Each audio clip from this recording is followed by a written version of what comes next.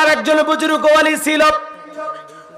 অনেক বড় আলেম ছিলেন, দিনের দায়ী ছিলেন, যে মসজিদে যাইতেন। আগে বিসমিল্লার ওয়াজ করতেন। বিসমিল্লাহ বললে কি লাভ? বিসমিল্লাহ বললে কি লাভ? বিসমিল্লার ফজিলত নিয়ে আধা ঘণ্টা, এক ঘণ্টা বয়ান করতেন আল্লাহর গোলামের বয়ান শোনার পর মহিলা প্যান্ডেলে বসে একটা হিন্দু মেয়ে। বলেন, তো মুসলমানের আলোচনা শোনার জন্য মাঝে মাঝে হিন্দু ভাই বোন আসে কি না? আরও জোরে বলেন, আসে না, নাই। আজকের মাহফিলে যে দুই চারজন আসেন, আর কি কোনো গ্যারান্টি আছে? জোরে বলেন, আছে। এই তো গত কয়েকদিন আগে এক মাহফিল করলাম, বাজান, মুসলমান যতজন, হিন্দু আছে ততজন বলেন, আল্লাহ আকবার। ওই যে ঠাকুর গায়ের হরিপুর এলাকায়। বাজান গো আমার এজন্য আপনাদের সামনে বলতে চাই, মহিলা প্যান্ডেলে বসা হিন্দু মেয়েটা আল্লাহর অলির বিসমিল্লার ফজিলতের বয়ান শোনার পর দিলটা এত নরম হয়ে গেল, এত নরম হয়ে গেল। মেয়েটা বুঝতে পারল, ইসলাম ধর্ম একমাত্র সত্য ধর্ম। ইসলাম। আল্লাহর কাছে একমাত্র মনোনীত ধর্মের নাম ইসলাম। ইসলাম স্যার আল্লাহর কাছে আর কোনো ধর্ম গ্রহণযোগ্য নয়। এজন্য মেয়েটা বুঝতে পারল, যখন সত্য কোনটা, মিথ্যা কোনটা, তখন আর দেরি করল না। মেয়েটা কালেমার মালা গলায় পড়ল জোরে বলেন মার হাবা কালেমা পরে মুসলমান হয়ে বাড়িতে গেল। এবার উঠতে বসতে বিসমিল্লা পরে উঠতে বসতে বিসমিল্লা পরে, উঠতে বসতে বিসমিল্লা পরে। হঠাৎ করে মেয়েটার মা শুনতে পেয়েছে। মেয়েটা কি যেন ফুসফিস করে তিলাবত করল। তখন ডেকে বলে, মা, আমি শুনতে পাইলাম। তুমি যেন ফিসফিস করে কি তিলাবত করতেছ? এই কথাটা যখন বলল, ডেকে বলে, মা, মুসলমান হয় যারা মিথ্যা কথা বলে না তারা, ও মা, আমি কয়েকদিন আগে মুসলমানদের ধর্মীয় অনুষ্ঠানে যাওয়ার পর ইসলাম ধর্ম সম্পর্কে যখন আমি জানতে পারলাম। মা গো মা, আমি সেদিন কালে মা পরে মুসলমান হয়েছি। এই কথা শোনার সঙ্গে সঙ্গে ডেকে বলে, মেয়েরে, সর্বনাশ করেছিস। আমাদের বাপ দাদার ধর্ম বাদ দিয়া মুসলমানের ধর্ম কেন গ্রহণ করলি মেয়েরে? সর্বনাশ করেছিস, তুমি তো আমাদের একমাত্র মেয়ে। ও মা, এখনও সময় আছে, ইসলাম ধর্ম ত্যাগ করে বাপ দাদার ধর্মে ফিরে আয়। মেয়েটা ডেকে বলে, মা, মুসলমান হওয়ার পরে আমি যে সাহায্যে মজা পাইতেছি মা, আমার পক্ষে ইসলাম ধর্ম সারা সম্ভব নয়। মার হাবা এইবার মেয়েটার মা বলে, রাত্রিবেলায় তোর বাবা আসলে বলে দেবো বলে দেন, আমি ভয় করি না। এইবার বাবা যখন রাতের বেলা আসছে, ডেকে বলে, স্বামী গো, সর্বনাশ হয়ে গেছে আমাদের একমাত্র মেয়ে কালেমা পড়েছে। বলে, তাই নাকি? বলে হ্যাঁ মেয়েটাকে ডাক দাও। মেয়েকে ডাক দিয়ে বলে, মা, আমি সব কি শুনছি? তুমি নাকি কালেমা পরে মুসলমান হয়েছো? মেয়েটা ডেকে বলে, বাবা, যা শুনেছেন, সত্য শুনেছেন, আমি কালেমা পরে মুসলমান হয়েছি। এইবার ডেকে বলে, মা, তুমি তো জানো, তুমি আমাদের স্বপ্ন, তুমি তুমি আমাদের আশা, জায়গা, জমি, ধন, সম্পদ, সব তো তোমার জন্য। তুমি কেন ইসলাম ধর্ম ত্যাগ করেছ মা? এখনও সময় আছে, আসো বাপ দাদার ধর্মে ফিরে আসো।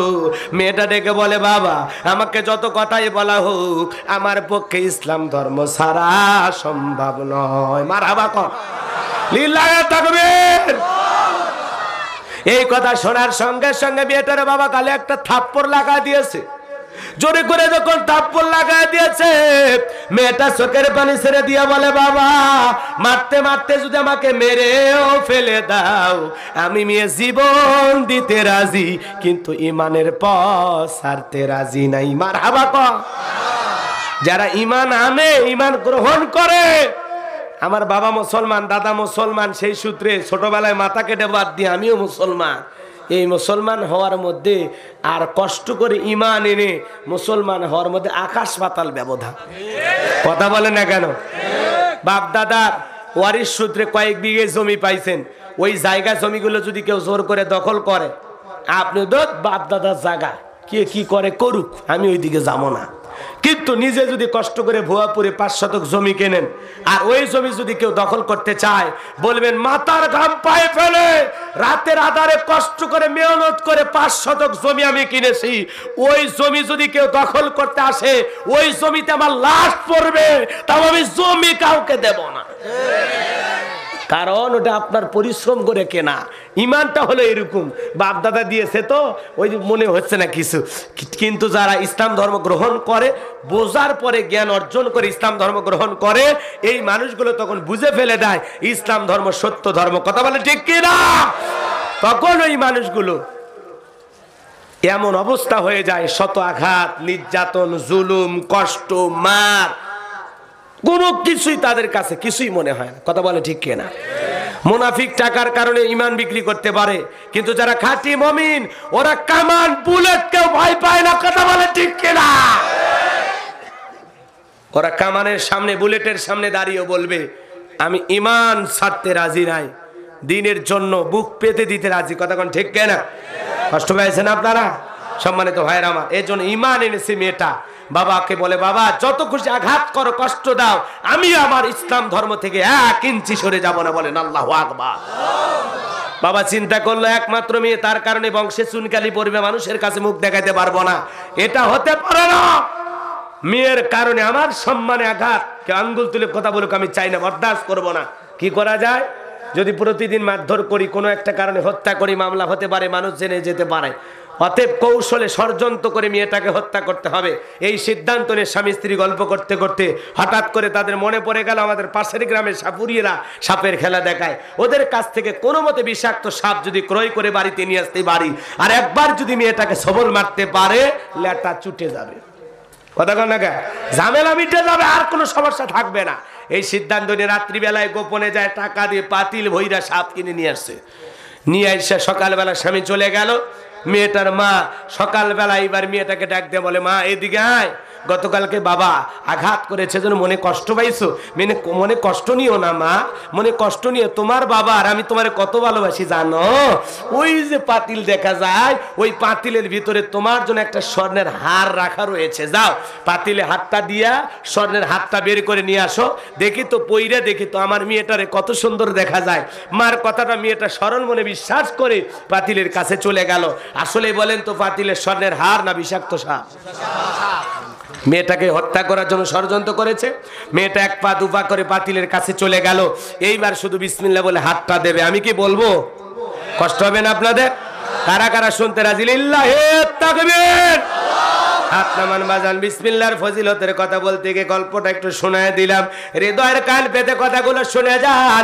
আল্লাহ রাব্বুল আলামিন বলেন, ইন্নাল্লাযীনা ক্বালু রাব্বুনাল্লাহু সুম্মাস্তাকামু তাতানাজ্জালু আলাইহিমুল মালাইকাতু আল্লা তাখাফু ওয়ালা তাহজানু ওয়া আবশিরু বিল জান্নাহ বিল জান্নাতিল্লাতী কুনতুম তুআদুন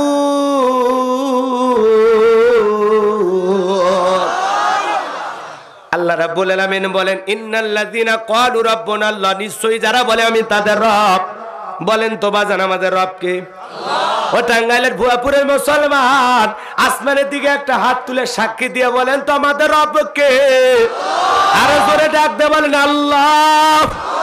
কলিজার সবটুকু ভালোবাসা উজাড় করে ডাক দে বলেন, আল্লাহ। আল্লাহ। আল্লাহ। আল্লাহ। আরও জোরে ডাকতে বলেন, আল্লাহ।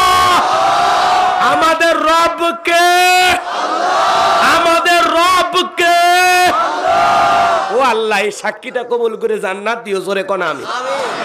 এই যে আল্লাহ আল্লাহ বলে ডাক দিলাম বলেন তো বাজান আমাদের আল্লাহ খুশি না বেজার? দুনিয়াতে যদি বাবাকে ডাক দেওয়া হয় বাবা ও বাবা বাবা এই অত বাবা বাবা করিস কেন? তোর কি মরণের বিঘের উঠছে? বব বব বব বব। কথা কন না মারে যদি ডাক হয় মা, ও মা, এ, অত মেও মেও করিস কে? কি হয়েছে তোর? মির্কি বেরাম ধরছে। ভাইরে যদি ডাক হয় ভাই, ও ভাই, বড় ভাই, এ আর একবার ভাই করলে তুলে আসার মানে ভুরি ভাই করব। অত ভাই ভাই করিস কে? হুজুর হাসানোর জন্য বলছে, না, কেন বললাম? ভালো করে বোঝেন, দুনিয়াতে বাবাকে যদি বাবা বাবা বলে ডাক দেওয়া হয়, অতিরিক্ত কয়েকবার ডাক দিলে বাবার বাবা ডাক শুনতে আর মজা লাগে না, রাগ হয়। মারে অতিরিক্ত কয়েকবার মা মা বলে ডাক দিলে, মারও মেজাজ গরম হয়, অত মা মা শুনতে মায়েরও ভালো লাগে না।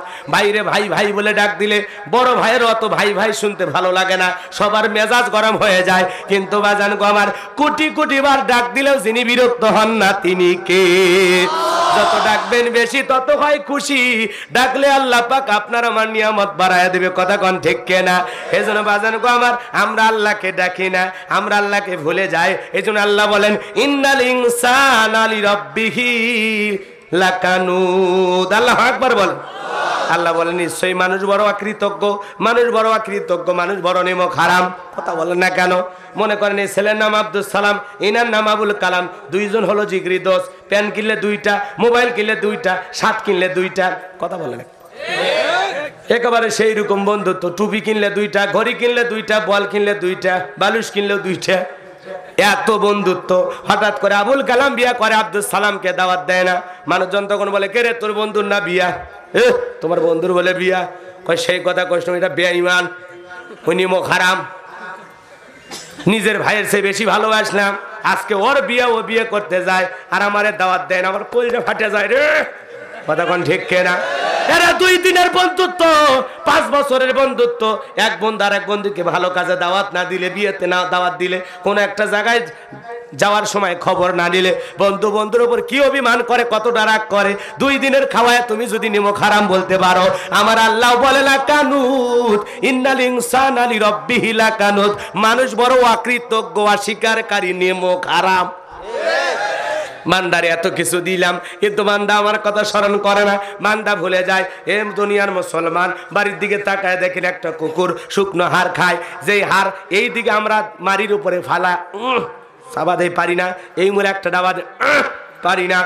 যখন কোনো দিক দিয়ে হয় না ওই হার কোনো মতে আমার পক্ষে খাওয়া সম্ভব একেবারে ইম্পসিবল তখন আমি কি করি? বাপ রে বাপ এখন কি করা যায়? মুখ থেকে বের করে কালো আয় এদিকে আয় হিসাবিল্লাহ এই কথা বলে কুকুরের সামনে দিয়ে দিলাম। কুকুরের শুকনা হার খায়। আর বলে, মনিব, জানি আপনি ফেল মারছেন, আমি এখন পাস করি। এই কথা বলে কুকুর শুকনা হার খায়। রোদ নাই, বৃষ্টি নাই, ঝড় নাই, তুফান নাই, মালিকের বাড়ি পাহারা দেয়। অপরিচিত কোনো মানুষ আসবে কি খবর, তুই কোন এলাকার? আমার মনিবের বাড়িতে ব্যাপার কি? কথা বোঝেন নাই। ওপরতলা থেকে মনিব যখন বলে, "এ লালু, এ চুপ কর। তখন ভিতরে আসে তখন মনিবার ওই দুইজন যখন গল্প করে দুইটা লোক যখন গল্প করে কুকুর খালি চতুর্দিক দিয়ে ঘরে কয় মনিব চেনেন নাকি? চেনেন না? খালি একবার কন চেনেন না কামড়ে জীবনের বারোটা বাজে দেবো। খালি চতুর্দিক দিলে ঘোরায় বলে মনিব তখন ঘুরতে দেখে কয় "এ, যা, তখন ও আপনার পরিচিত আগে বলবেন তো। ভাইজান গো, আমার হাসির জন্য নয়, শিক্ষার জন্য বিষয়টা। যদি আপনার হৃদয়ের পেতে কানটা দিয়ে কথাগুলো শোনেন, তাহলে বুঝতে পারবেন, একটা কুকুর শুকনো হার কায়া আপনার বাড়ি রোদ নাই, বৃষ্টি নাই, ঝড় নাই, তুফান নাই, যদি পাহারা দেয়, যে আল্লাহ এত কিছু দিল, এত কিছু খাওয়াইলো, সে আল্লাহর শুক্রিয়া, কৃতজ্ঞতা আদায় করার দরকার আছে না নাই? কেন সেই মালিককে ভুলে গেলাম? কারা আমাকে ভুলিয়ে রাখল? এ বাজান সামনের দিকে যায়, আলোচনার প্রেক্ষাপটে আরও কথা বলব, বুঝতে পারবেন। তাহলে আল্লাহ বলেন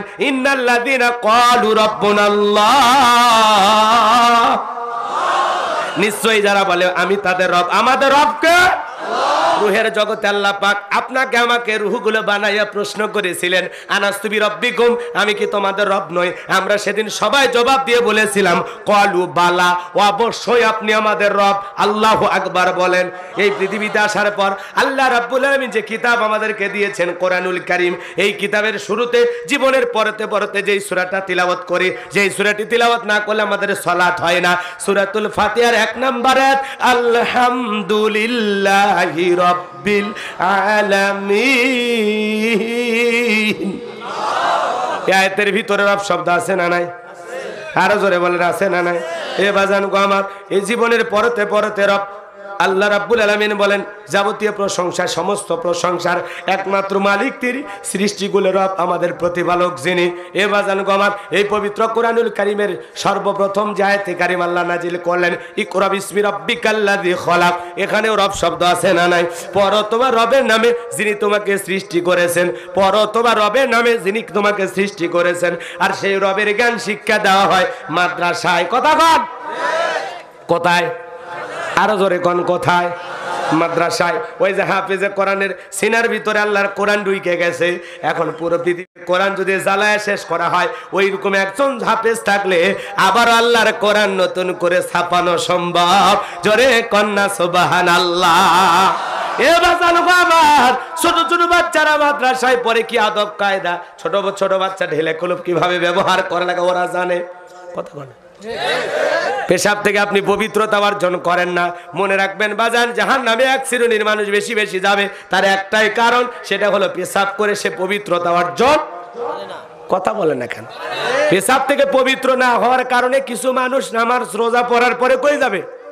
আরও জোরে বলেন কোথায় যাবে? এসব থেকে পবিত্রতা অর্জন করা লাগবে। হয় ঢেলা কুলক টিস্যু অথবা পানি যে কোনো একটা নিয়ে কাজ সারা লাগবে। একজন সারা জীবন তিরিশ, চল্লিশ বছর বয়স হয়ে গেছে, পেশাব করে পানি নেয় না। হুজুরের বয়ান শোনার পর বাপরে বাপ ঢেলে কুলো ব্যবহার না করলে এই পেশাবের সিটা ফোটা গায়ে আসার কারণে যদি এই পবিত্রতা অর্জন না হয়, এর কারণে যদি জাহান নামে যাওয়া লাগে, আজ থেকে আমি ভালো হয়ে গেলাম।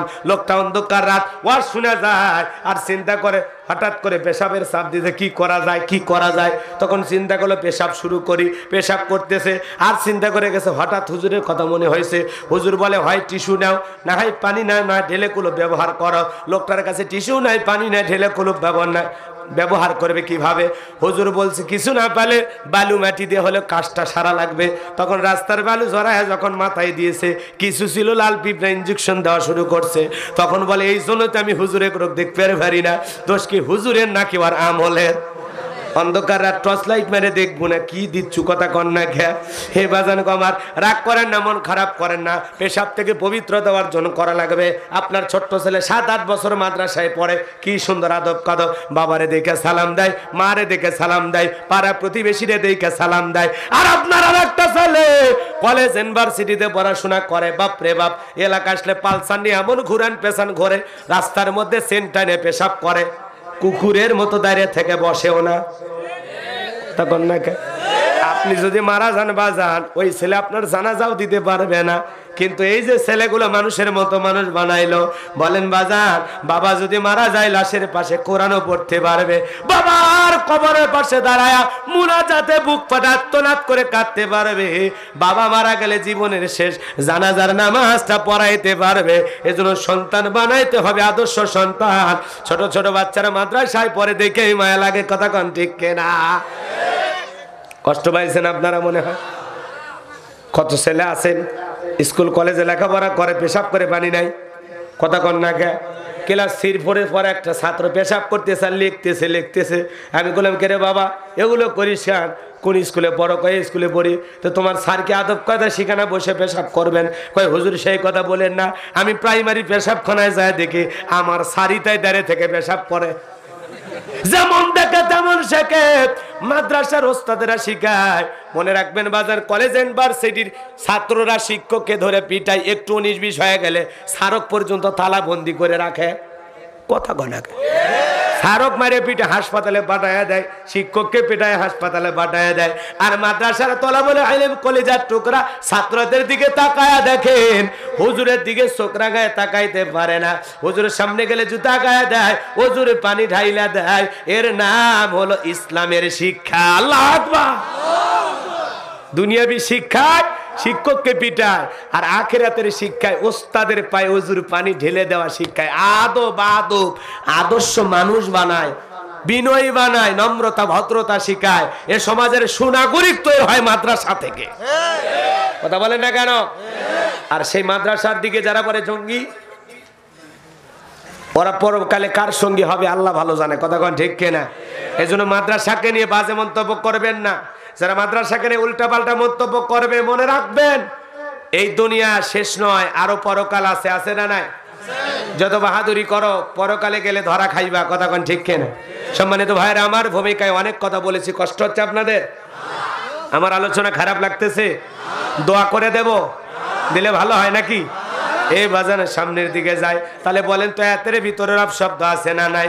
এরপরে আপনি, আমি যখন রুকুতে গেলাম, নামাজ পড়ার সময়, বলেন তো বাজানে কি তাসবি পড়ি? সুবহান রাব্বিয়াল আযীম, সুবহান রাব্বিয়াল আযীম রব শব্দ আছে না নাই? রুকুতে দাঁড়ানোর সময় কি বলি? রব্বানা লাকাল হামদ, হামদান কাসীরান তাইয়িবাম মুবারাকান, ফি রব শব্দ আছে না নাই?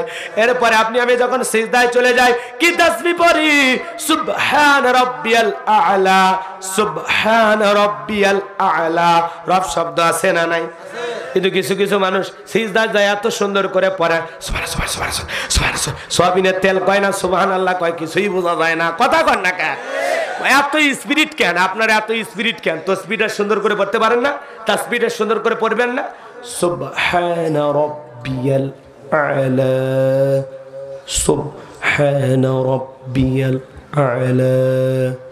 কথা কন না কেন ওই একের মেশিন চালে।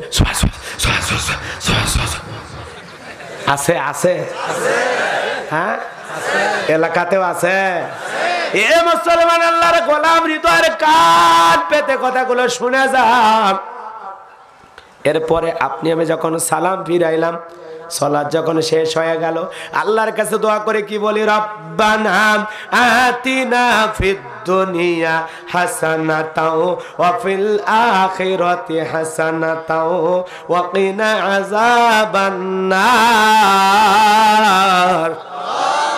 সূরা বাকারা 207 নম্বর আয়াত, আল্লাহর কাছে বললাম আমাদের রব, আমাদেরকে দুনিয়ার কল্যাণ দান করো, আখিরাতের কল্যাণ দান করো, আর কঠিন জাহান্নামের আগুন থেকে মুক্তি দাও। তাহলে এহকাল পরকালের কল্যাণ দেওয়ার একমাত্র মালিককে আরও জোরে বলেন কে?